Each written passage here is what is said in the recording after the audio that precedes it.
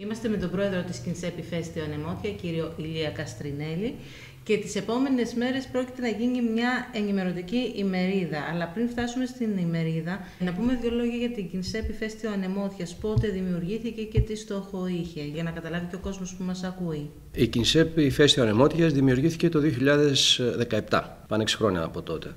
Ο στόχος της ε, ίδρυσης της εταιρείας μας ήταν ε, να εκμεταλλευτούμε με τον καλύτερο δυνατό τρόπο τον ε, πλούτο που θεωρούμε ότι έχει ο κάμπος της Ανεμότιας τουλάχιστον σε ό,τι αφορά το κομμάτι του κρασιού και του σταφυλιού. Από τότε οι στόχοι μας διαμορφώθηκαν ανάλογα και με αυτά που βρήκαμε μπροστά μας. Οπότε είχαμε μια πρόοδο πολύ μεγάλη τουλάχιστον για τις προσδοκίες που είχαμε ξεκινώντας. Κάναμε πολλά βήματα μέχρι τότε και θα σας πω ενδεικτικά το τι έχουμε κάνει μέχρι τώρα. Έχουμε στήσει ήδη ένα μικρό εινοποιείο, το οποίο ευελπιστούμε ότι στην επόμενη χρονιά θα είναι πολύ μεγαλύτερο, διότι υπάρχει μια χρηματοδότηση και ένα πρόγραμμα το οποίο τρέχει και φτάνει κοντά στην ολοκλήρωσή του. Και ήδη έχουμε τέσσερις ετικέτες από κρασιά, τα οποία κυκλοφορούν και μπορούμε να τα δούμε προς το παρόν πάνω στο νησί. Έχουμε και άλλο ένα προϊόν, το πετιμέζι, το οποίο είναι ένα παλιό προϊόν, αλλά εμείς το εξυγχρονίσαμε και το δημιουργούμε και φιλοδοξούμε ότι θα έχουμε και άλλα προϊόντα που έχουν σχέση με το αμπέλι, κατά κύριο λόγο με το αμπέλι. Ο ναι. επόμενος στόχος σας ποιος είναι, Η αλήθεια είναι ότι δεν έχουμε έναν επόμενο στόχο. Έχουμε πολλούς, αλλά θα επικεντρώσουμε στο, στους εξής δύο. Ο πρώτος από τους ε, στόχους, ο οποίος είναι και αυτός που θα καταστήσει όλο το εγχείρημα τελικά βιώσιμο, γιατί αυτό είναι ο μοχλός, είναι να συστήσουμε τα κρασιά μας έξω από το νησί. Νομίζω ότι το επόμενο βήμα που πρέπει να κάνουμε, αφού θεωρούμε ότι έχουμε ήδη γνωρίσει τα κρασιά μας στον κόσμο του νησιού είναι να προσπαθήσουμε να κάνουμε το βήμα το επόμενο και να συστηθούμε στην ε, ευρύτερη αγορά. Νομίζω ότι αυτό είναι που πρέπει να είναι το κύριο μέλημά μας για τη συνέχεια. Αυτό προϋποθέτει και να εξυγχρονίσουμε και να βελτιώσουμε τους τρόπους καλλιέργειας του αμπελιού στον κάμπο. Παρά το γεγονός ότι η ανεμότια έχει παράδοση στο αμπέλι, πρέπει να πω ότι ο τρόπος με τον οποίο καλλιεργούνται τα αμπέλια στον κάμπο δεν είναι ο ενδεδειγμένος για να κάνει κανείς καλό κρασί. Και εμείς, σαν κύριο μέλημά μας, επίσης, είναι να καλλιεργήσουμε με πρότυπους τρόπους καινούργια αμπέλια. Σε ό,τι έχει να κάνει με την ημερίδα, πότε πρόκειται να πραγματοποιηθεί και ποιοι ναι. θα είναι ομιλητές αυτήν; Η ημερίδα θα πραγματοποιηθεί την Κυριακή 19 Φεβρουάριο. Στις 10 η ώρα το πρωί θα ξεκινήσει, φαντάζομαι ότι μέχρι το μεσημέρι θα κρατήσει. Ο στόχος της ημερίδας είναι να επικοινωνήσουμε, να γνωρίσουμε στον κόσμο αυτό το οποίο συνέβη, ένα πραγματικά πολύ πρωτοπόρο εγχείρημα, το οποίο συνέβη σε συνεργασία με το Πράσινο Ταμείο και δημιουργήσαμε πάνω στην ανεμότια έναν πρότυπο βιολογικό αμπελώνα.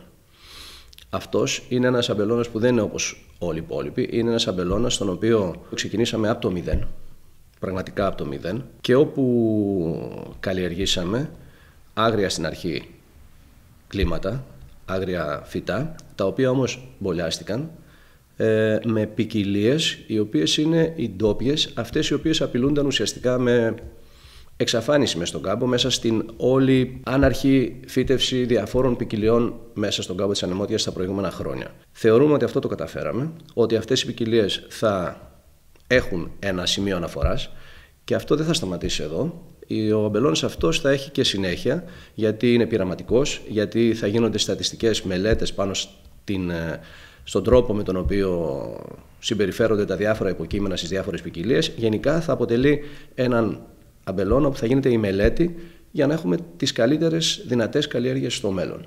Αυτή όλη η ιστορία, εκτός της δημιουργίας του αμπελώνα, είχε στόχο και να επικοινωνήσει αυτός Δηλαδή να γίνει γνωστό όλο το εγχείρημα και όλη αυτή η διαδικασία στον κόσμο. Υπήρξαν βιωματικά εργαστήρια και κατά τη ε, διάρκεια της ε, διαμόρφωσης του εδάφους, εργαστήρι ξερολιθιάς. Υπήρχε το βιωματικό εργαστήριο του φυτέματος, υπήρχε το βιωματικό εργαστήριο του μπολιάσματος.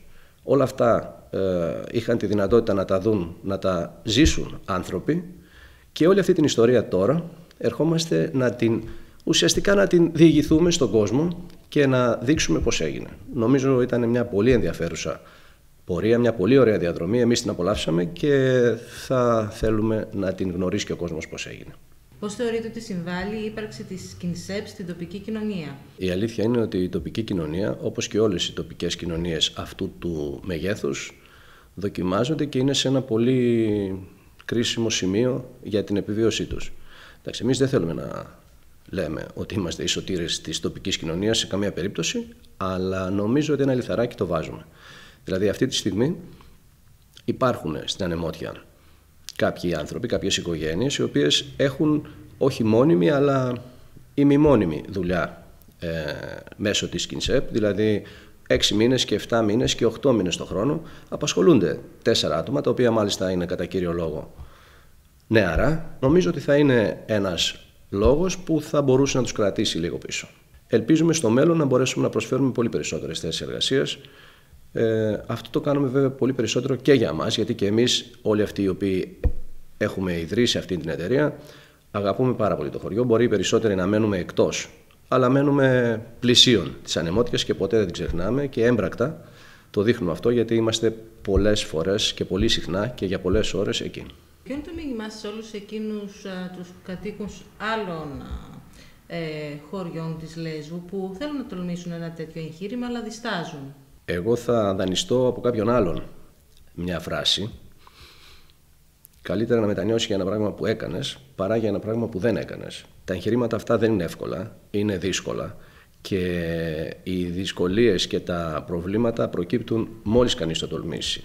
Αλλά επίσης οι ευκαιρίες είναι πάρα πολλές οι δυνατότητες που έχει η Ήπεθρος είναι πάρα πολλές. Υπάρχουν κρυμμένοι θησαυροί, τους οποίους μπορούμε να ανακαλύψουμε. Ειδικά άνθρωποι οι οποίοι ζητούν να βρουν τρόπους να βιοποριστούν και που έχουν χρόνο να διαθέσουν στην Ήπεθρο, νομίζω ότι μπορούν να κάνουν πάρα πολλά πράγματα, ειδικά μέσα από συνεργασίες. Ολιγομελείς μεν, συνεργασίες δε.